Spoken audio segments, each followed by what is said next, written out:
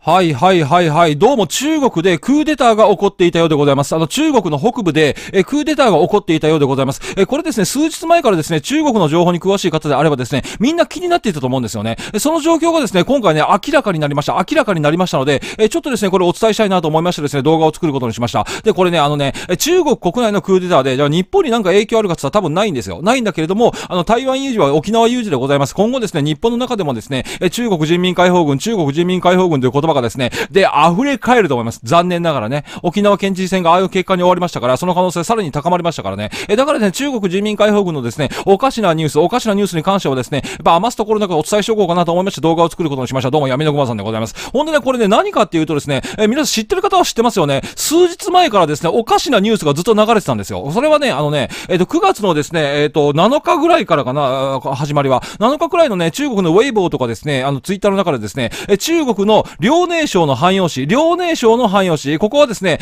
中国の北部戦区の司令官がいらっしゃるところなんだけども、このね、そこでですね、戦闘機が飛んでいると。こんな明らかにですね、その計画にない形で、戦闘機がですね、轟音を上げて飛んでいて、どこかの場所を爆撃していると。もうそうとしか思えない映像がですね、ずっとウェイボーとかで流れてたんですよ。流れてたのよ。で、で場所をね、ここ、場所を言うとね、ここなんですよね。ここね、あの、遼寧省のですね、汎用市というところで、えー、北部せ、北部戦区のですね、あの、まあ、あの、軍隊さんが集まってるとこですわ。場所的にはですね、えー、北京の少し北、北京の少し北で、えー、距離的にはですね、えっ、ー、と、大阪と東京くらいかな。大阪と東京くらいの、あの、距離があるね、北京からね、えー、ある場所でですね、国部は中国のですね、えー、重要な軍施設、北部軍、北部戦区の、あの、司令官がですね、駐在している場所なんですよね。えー、ここでですね、なんか戦闘機がおかしな時間に飛び回っていて、どこかを攻撃しているとしか思えないというような映像が流れていまして、これね、後でね、僕のツイッターの方でも共有しておきますわ。共有しておきますわ。なんだこれは、なんだこれはということで、え数日前からですね、中国のね、マスメディア、マスコミというか中国のね、あの、有名インフルエンサーの方々がちょっと騒いでいたんですよ。で、ただですね、これ沖縄のね、方でですね、大変なね、選挙が行われていますから、僕これ流していたのと、ね、中国ではたまにですね、これね、えガス爆破、単なるガス爆発をですね、えこういう風に流したりとかするもんだから、ちょっと様子を見ていたんだけれども、本日、本日、細かなニュースが出てきましたね。えどうもですね、あのー、元ですね、中国軍の北部司令区の司令官、北部戦区、北部戦区の司令官がですね、起こしたクーデターであった可能性が極めて高くなりました。極めて高くなりました。え、簡単に言うとですね、これね、あの、この中国のですね、この北部戦区の司令官がですね、おかしな形で退任に追い込まれたんですよ。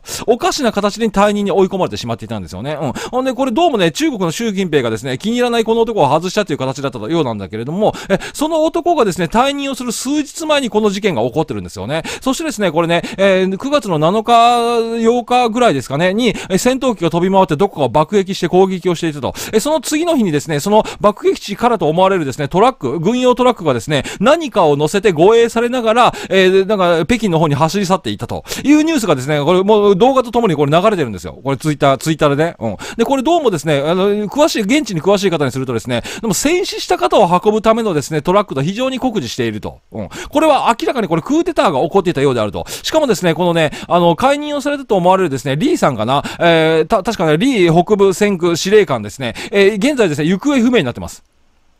現在行方不明になってます。これ明らかにリーさんが起こしたクーデターではないのかというのがですね、えー、濃くなっていまして、僕も多分状況から見てね、そう思います。そう思います。はい。ただね、こんなところでクーデターを起こして何の目的だったんだろうってちょっと思いません？うん。いや、ここでクーデターを起こしたところで習近平の命が取れるわけでもなく、その先の見えないクーデター？うん。本当にそれ起こるのかなと思うんだけど、まあ、中国人の方々のですね、あの気の短さをですね、最近動画でもいろんな動画流れてますよね。気の短さを考えると、もうなんか近視眼的にですね、これね、感情だけで起こしたクーデターの可能能性もあるよねと。うん。でもですね、この一件を経てですね、あの中国の習近平って人民解放軍をですね、ちゃんと掌握できてないんではないのかっていう話はですね、もう数年前から流れていたんだけれども、えこれを通じてですね、習近平、え中国人民解放軍の掌握がですね、一歩進んだ、あ、一歩進んでしまったという状況でも考えられますので、まあ、ちょっとお伝えしようかなと思いました。はい、ということでですね、これね、え今回のね、全容をですね、多分ですね、これマスコミがですね、中国のマスコミもですね、これほとんど取り上げてないんですよ。ね、北部戦区のですね、司令官の交代なんてどう、どでかい話なのに、このニュース自体はですね、中国のマスコミ、一切取り上げてないんですよ。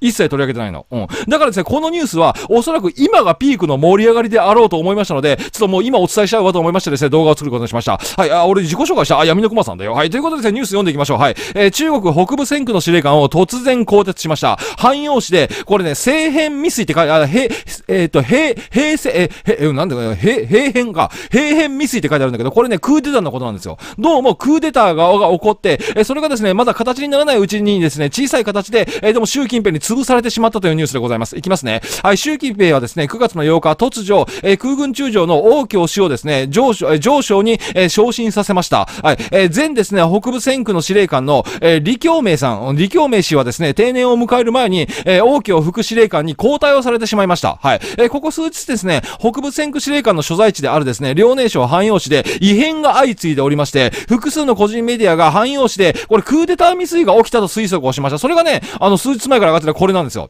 これね、あの、ツイッターでね、共有させてもらいますから、明らかに戦闘機が飛んでいて、明らかにどっかで爆撃が起こってるんですよ。でもマスコミがニュースにしてないんですよ。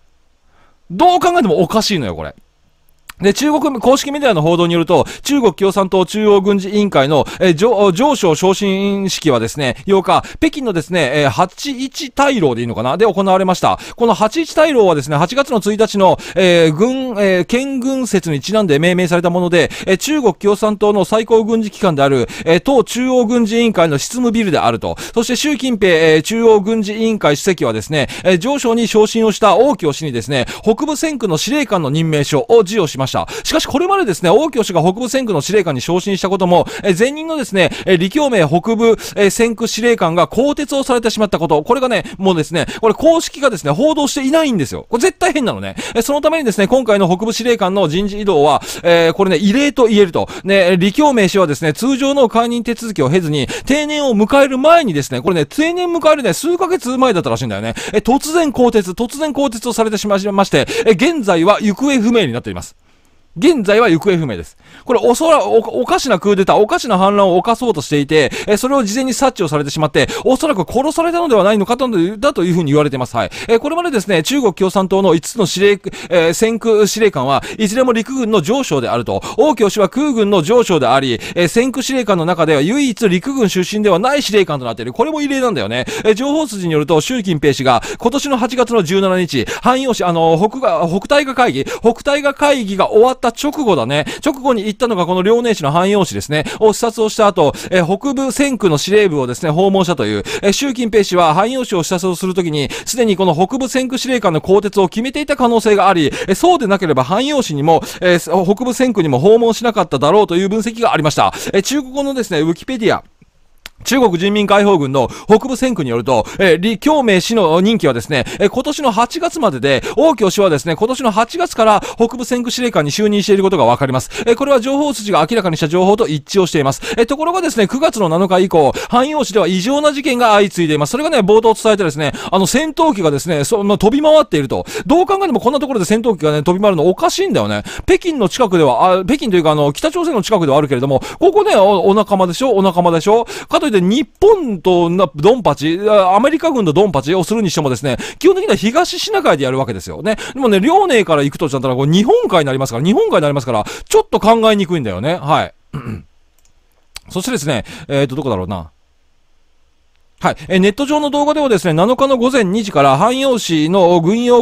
えっ、ー、と、軍用空港の方角で戦闘機が飛行する様子が映っていると。これは動画映ってますからね。そして銃砲の音と、え複数の大きな爆発音、どうもね、これ爆撃をしていた可能性があると聞こえ、え先行も伴っていることがわかります。これね、はっきりとわかる動画、え共有させてもらいますからね。はい。えっ、と、そしてですね、遼寧省汎用市ではですね、え8日の未明もですね、爆発音が聞こえ、え上空にはですね、戦闘機が通過をする轟音が絶えませんでした。ネットユーザーが投稿した動画によると、え8日の午前2時頃、遼寧省の汎用市、鉄西区でいいのかな？え上空をですね、通過する戦闘機の轟音と、え遠くで大きな爆発音が聞こえまして、えそれに伴って爆発の先行が確認できました。これははっきり映ってる動画ございます。はい。汎用市の街頭に、え9日のですね、午前4時過ぎから、高速道路から降りてきた警察の白バイに護衛をされる、え軍用車、これさっき見せこれですね、軍用のトラックですね。えこの軍用のトラックの長い車列が現れました。これね、要するにクーデターが起きたと思われる夜、夜が明けてからですね、えー、どうもこの軍用トラックが次々と出てくるという状況になりました。えー、各軍用車両はですね、ホロで厳密に覆われておりまして、その両側には白バイに乗った警察官が付き添っています。しかし中国の公式メディアは、このことについて一切報道していないんですよね。何かしらの報道規制がかかっているのはもう100%間違いございません。はい、中国のネットユーザーによると、え死刑囚の護送や軍人の遺体搬送の際に、えこのような光景がよく見られるらしいんですよね。え白バイがですね、え軍用車を護送していることを考えると、逮捕されたクーデター軍軍人や軍人の遺体ではないかと疑われているという話でございます。これ多分ね、間違いないと思いますよ。要するに、あのね、おかしな形で解雇されてしまった、え中国の北部戦区の司令官が、え習近平に対してクーデターを起こしたんです。で、そのクーデターが大きく膨らむ前にですね、それを察知して習近平に、え戦闘機を伴う爆撃によってですね、これね、えー、鎮圧をされてしまったと。